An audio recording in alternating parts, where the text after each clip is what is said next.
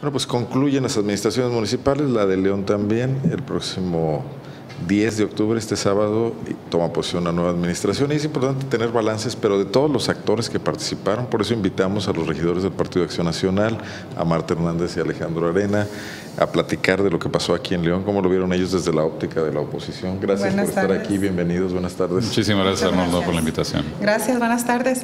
Pues bueno, pues hemos venido haciendo ahorita al final de esta administración el análisis de este último informe y en general de la administración.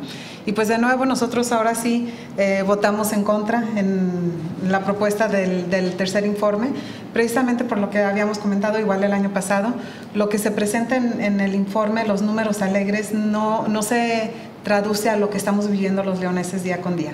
Eh, lejos de ponernos a argumentar que si fue uno, fueron diez o mil personas atendidas en cualquier lugar, pues es más bien eh, interpretarlo por el lado de estamos viviendo esto que tú dices que hiciste o sea, la llegada del doctor Villasana como interino, que ustedes lo respaldaron, ¿de acuerdo?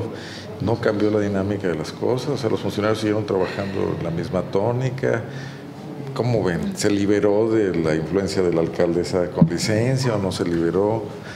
Yo creo que no se liberó del todo y yo creo que él, él como persona eh, tiene todo nuestro reconocimiento, lo tuvo desde un principio, nosotros lo apoyamos, creo que fuimos la fiel de la balanza para que él llegar a donde llegó y bueno, pues yo creo que los que lo conocemos de, de muchos años atrás eh, podemos meter las, las, manos al fuego por, eh, por este doctor que, que, ha hecho lo que ha podido dentro de sus posibilidades. Sin embargo, bueno, pues todo el aparato es el mismo. ¿no?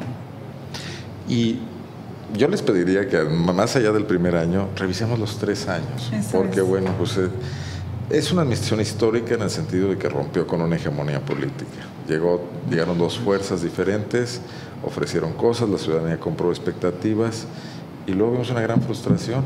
Y aquí, ¿qué papel les toca a ustedes? ¿Creen que como oposición fueron lo suficientemente enérgicos o no se podía? O ¿Cómo se sintieron, Marta? Mira, este, sí fue difícil, fue, fue un reto bastante diferente a lo que nosotros habíamos tenido en mente cuando aceptamos ah, participar en el ayuntamiento.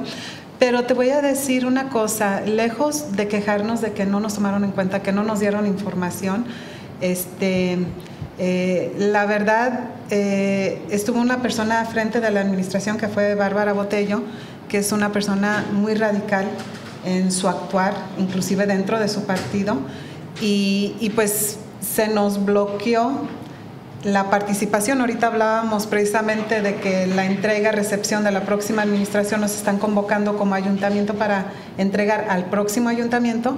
Y cuando entramos no nos convocaron a nada. O sea, nosotros desde el principio eh, no participamos en mucho... ¿Pero los convoca el doctor Villasano los convoca...? Eh, para esto nos convoca el doctor Villasana. Bueno, porque Para la entrega. ¿sí? O sea, cuando ustedes llegaron ahí les dijo, vengan aquí a recibir lo nada, que nos entrega nada. Y ese fue el reflejo durante toda la administración, en donde se tenían reuniones previas, se tenían acuerdos, eh, tras bambalinas, tras escritorios, tras todo, y, y nunca formamos parte de eso. Eh, trabajamos hasta donde pudimos, hicimos, dimos lo mejor de nosotros, no somos personas eh, conflictivas que nos vamos a confrontar eh, con palabras altisonantes con otra gente. no es nuestro estilo y nuestra aportación al municipio no, no creemos y no creímos que iba por ese lado, sino decir, resaltar lo que se estaba haciendo mal y de hacer notar lo que no se hacía. Eh, lo mencionamos y ahorita si al final en diferentes casos se ha retomado estos temas que nosotros señalamos desde el inicio.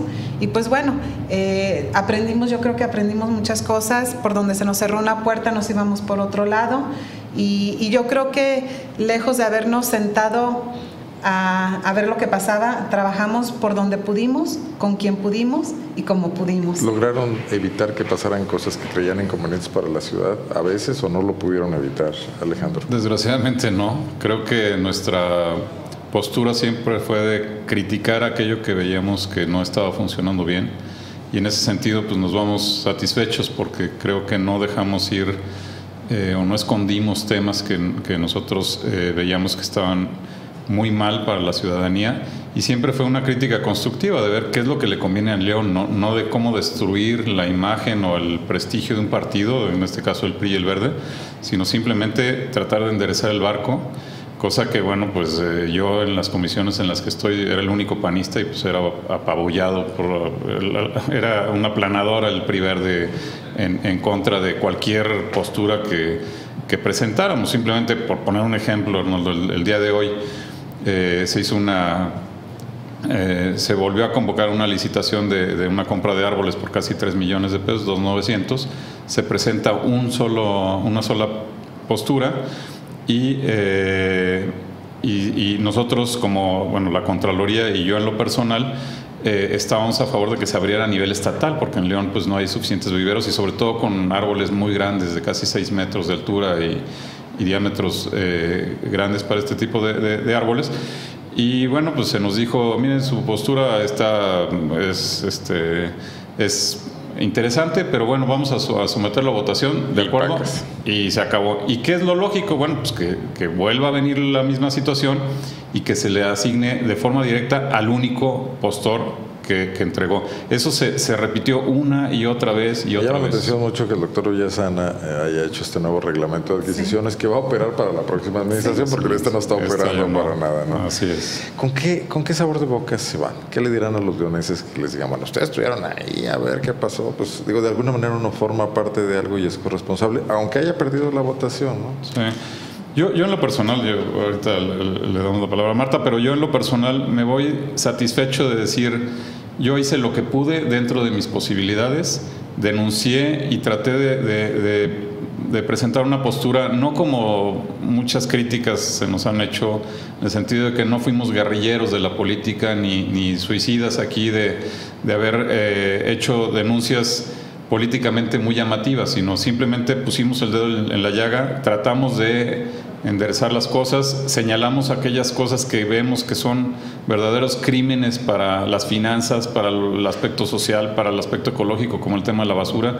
Entonces, bueno, nosotros dimos la información a la que tuvimos acceso y desde luego que nos la daban a última hora, en el último momento, para que llegáramos a votar en contra o a favor, a ellos les daba lo mismo, total, las cosas pasaban por inmensa mayoría, y en ese, en ese sentido, bueno, pues yo me voy con esa satisfacción de, pues haber hecho lo posible, Arnoldo, pero definitivamente eh, yo le pido a Dios que esta administración no se cierre como se cerró la del PRI verde, en contra, como nos veían como enemigos prácticamente, de esa apertura que todos los ciudadanos leoneses piden y que los medios también piden. Y creo que la crítica que hizo el, síndico Leonel Charnichard en que los medios eran enanos de balcón, bueno, pues eso lo dice todo, ¿no? De Tapanco. De, Tapanco, perdón, de Tapanco y expertos de banqueta. Entonces, bueno, en ese sentido se vio el desprecio hacia toda aquella ciudadano medio de comunicación que no opinara igual que ellos. Marta, ¿tú cómo te sientes? Pues mira, yo creo que siempre nos quedamos con la espinita de que a lo mejor pudimos haber hecho un poquito más. Pero eh, creo que cumplimos con la encomienda que traíamos de la mejor manera que pudimos, eh, señalando precisamente lo que veíamos que estaba mal, siendo portavoz del ciudadano eh, que no se le escuchaba en, presidencia, porque esta administración fue, yo creo, la administración que ha tenido las puertas eh, de la presidencia cerradas lo más este, que ninguna otra, porque no se la escuchaba simplemente a la gente. Entonces, eh, muchas veces nos tocó ser eh, portavoz de, estos mensajes o estas necesidades en mismas sesiones de ayuntamiento, que luego no les agradaba mucho allí a, a los demás. Este, trabajamos dentro de las comisiones, las sesiones, señalando, diciendo lo que teníamos que hacer.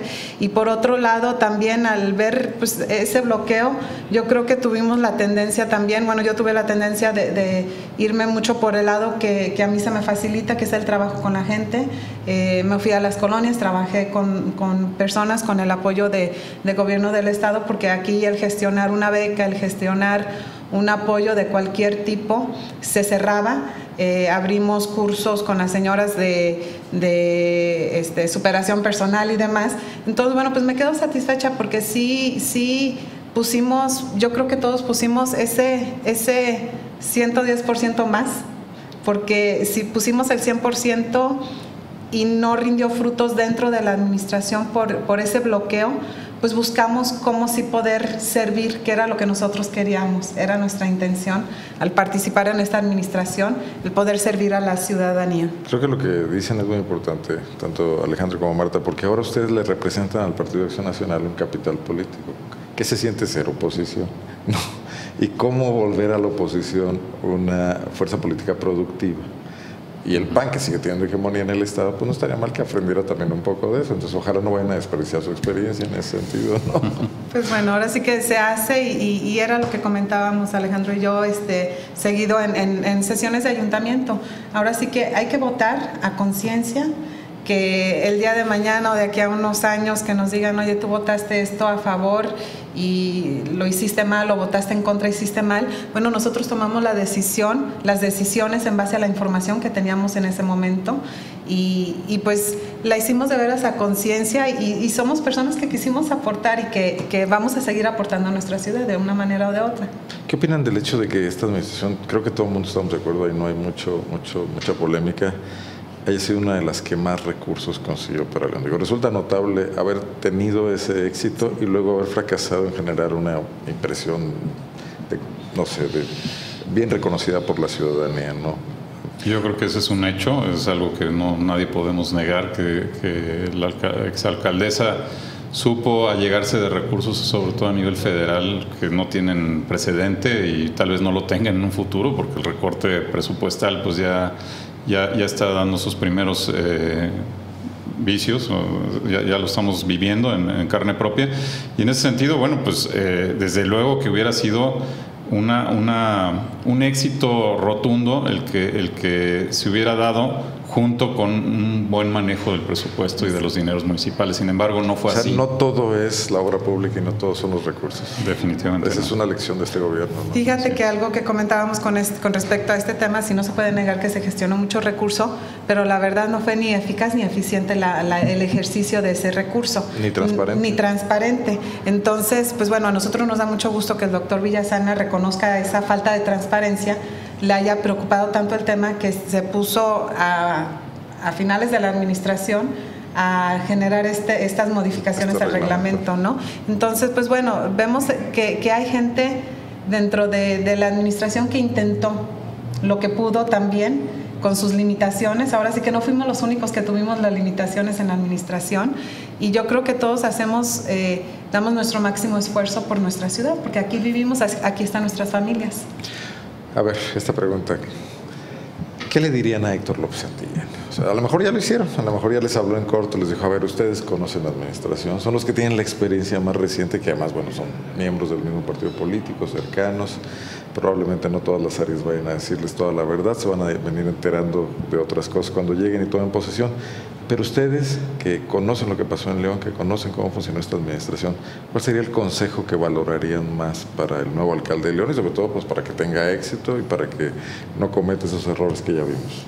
Ah, bueno, es muy buena pregunta. Y en ese sentido yo estuve en una ocasión con Héctor y yo creo que el primer comentario no le cayó nada en gracia porque yo sí le dije que cuidara mucho la soberbia porque es algo que aparentemente no existe en la política y es lo que más abunda. Y en ese sentido se pueden cometer gravísimos errores como los que se cometieron en esta administración, de decir, pues si yo opino que los volardos es lo que le conviene a los leoneses, pues yo los pongo. Que se aguanten. Y que se aguanten. Y si yo creo que una compañía de Monterrey es la que nos va a venir a salvar el tema de la basura, pues también que se aguanten. Y yo creo que en ese sentido...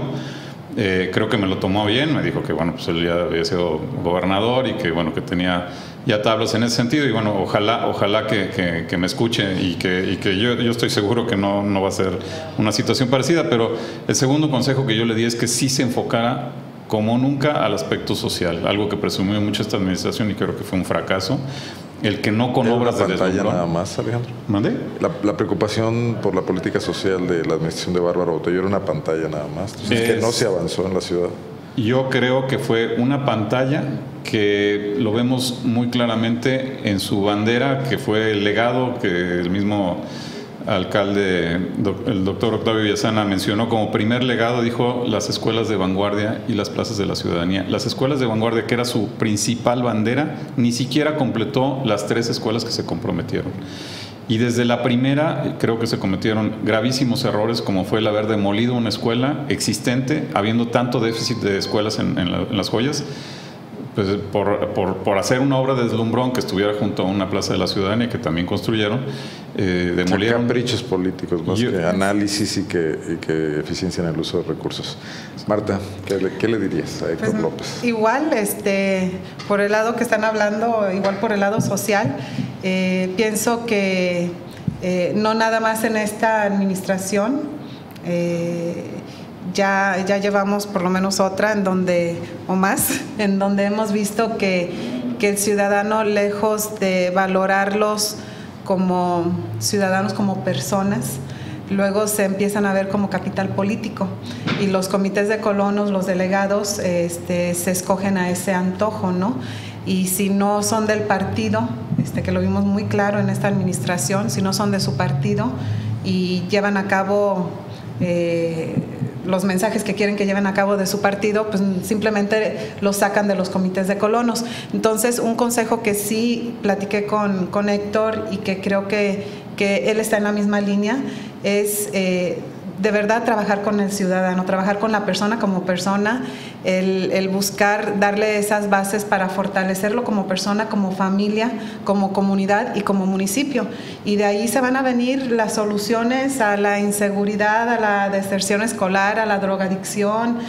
tenemos tantos problemas como sociedad y si empezamos a trabajarlo desde la persona misma, hay un programa por ahí que se viene manejando del Estado de la CDSHU, que es el socioeducativo y este es el que he venido trabajando yo con las señoras y la verdad ves cómo la persona florece con sus propios eh, principios, con, sus valores, cómo los transmite a sus hijos, a su familia, luego cómo los, los multiplica en su colonia, este, facilitando la convivencia.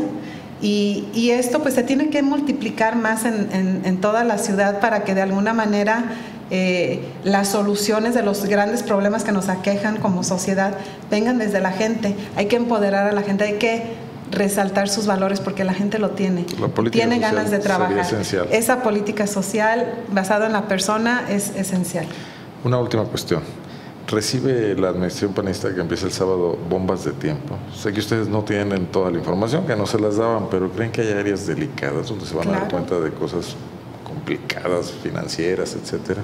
Pues, simplemente, por ejemplo, la comisión de hoy en la mañana de, Hacienda, eh, el paso de agosto a septiembre ya, ya implicó 170 millones de pesos de las, de las finanzas municipales de líquido, bancos. Ah, en ¿Hay que pagar liquidaciones todavía? O todavía hay que pagar, se autorizaron 30 millones también, que es eh, por lo que nos decía el síndico Eugenio, eh, son etiquetadas para liquidaciones, en donde ya también se, consideró ese rubro. Y bueno, pues desde luego, y perdón por la insistencia, pero es que el tema de la basura a mí realmente sí me trae muy preocupado. Implica esos 100 millones de más a lo que veníamos gastando el tema de la recolección de la basura, siendo que nos costaba 80, 89 millones, ahorita ya está arriba de 200 millones. Pero hay un tema que no se ha visto.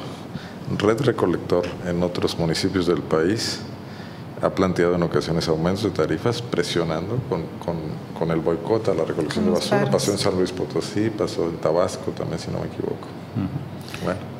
Estaríamos reviviendo la historia que se hizo hace más de 20 años, pues. Así es. Y, y, y bueno, y, y, desde luego que también el tema del DAP también es otro boquete de más de 100 millones de pesos al año Uh, unido todo esto a la, ineficiencia o burocratismo que ya trae de sobrecarga la, administración, creo que es todo un reto para Héctor López Santillana de ver cómo eficientar al máximo los recursos que ya van a ser cada vez más escasos y que de la federación, bueno, pues los recortes ya están más que, más que avisados. en ese sentido creo que tiene un reto muy grande, muy fuerte. La expectativa de que él va a solucionar todos los problemas es demasiado alto y eso no es posible, y menos en temas de seguridad, donde hay que hacer una reestructura y muy probablemente pues, reubicar a muchos comandantes que también eh, eh, están este, pues, eh, en, la, cuerda floja. Entonces yo, yo creo que sí, el ciudadano tiene demasiadas expectativas y creo que en el caso de Bárbara eh, las expectativas se derrumbaron a tal grado que bueno pues la elección nos da el parámetro de hasta qué punto estuvo esa desilusión por esta, esta nueva administración. Yo creo que en el caso de Héctor López Santillana, eh, eh, sí, sí, hay una expectativa muy alta, sin embargo, bueno, pues con que, y estoy seguro que lo va a hacer un trabajo honrado, yo creo que va a ser la gran diferencia. Muy bien.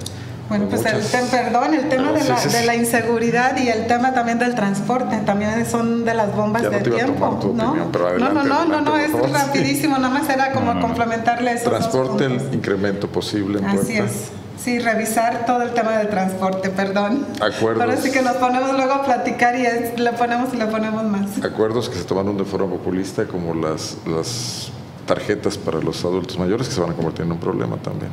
De costos, ¿no? Más que nada. Así, es. Bueno. Marta, ¿algo más que agregar? No, muchas gracias. Alejandro, gracias por agradecerte muchísimo, Arnoldo. Sí, tú sigues en la política, eres, eres diputado suplente. Soy diputado suplente, pero bueno, pues a mí me, me hubiera gustado estar en el campo de batalla. bueno, bueno, a veces hay que hacer este, algunos breaks nada más. Marta, tú también eres muy activa, estarás en el PAN. Pues ah, vamos a ver, mira, ya cuando empiezas a trabajar con la gente es difícil hacerte a un lado y hacerte que no existe lo que lo que están en las colonias y, que además puedes hacer algo. Nos van y te buscan y te lo piden, ¿no? La gente se compra. Pues eh, eh, hemos logrado buena relación con las personas. Bueno, éxito en lo que siga por Gracias. Muchísimas gracias. gracias. son los dos líderes de opinión en la ciudad de León, así que no dudo que nos veamos por aquí pronto. Muchísimas, Muchísimas gracias a Marta Hernández, Alejandro Arena, regidores del Partido Acción Nacional en esta administración que concluye el próximo viernes a la medianoche, sábado, sábado en la madrugada, digamos. Eh, vamos a continuar después de la pausa.